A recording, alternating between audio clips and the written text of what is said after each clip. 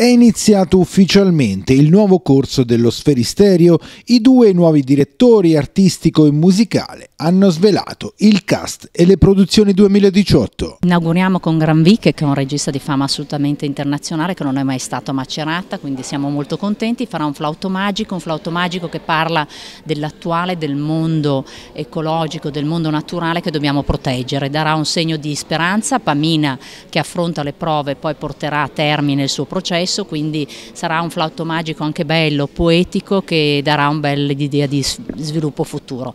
Micheletto è in questo momento sicuramente il regista più importante che abbiamo in Italia, molto conosciuto all'estero, è riduce adesso di un successo incredibile all'Opera di Roma e porta l'Elisir d'amore, sarà qua con noi a fare proprio la regia, è un Elisir d'amore perfetto per eh, lo sferistereo perché parla di una spiaggia e del mare, quindi il pubblico sarà il mare e il palcoscenico sarà una spiaggia di sabbia.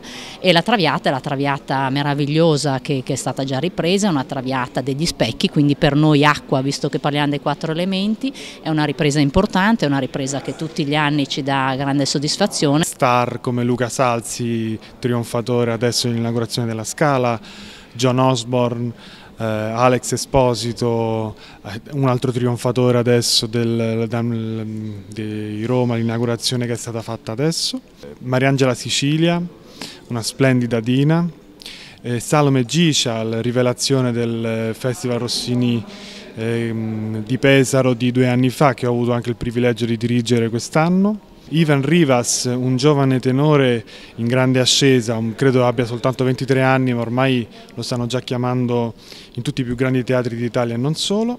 Un festival molto legato al territorio ma di un respiro ancor più internazionale. Eh, questo chiaramente si raggiunge anche attraverso produzioni importanti eh, affidate a team creativi di, di, grande livello a cui lo Sferisterio ci ha già abituato e anche a collaborazioni mh, con teatri di livello internazionale, col Palau delles Arts Reina Sofia di Valencia.